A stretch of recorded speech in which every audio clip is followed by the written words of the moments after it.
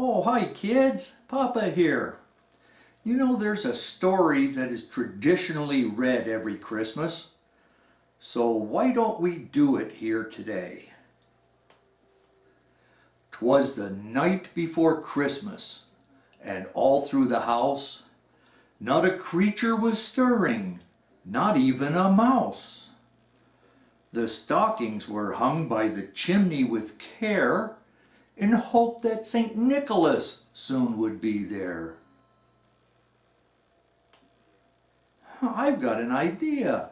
Let's get the ukulele and sing this story. Twas the night before Christmas and all through the house not a creature was stirring, not even a mouse. All the stockings were hung by the chimney with care in hope that St. Nicholas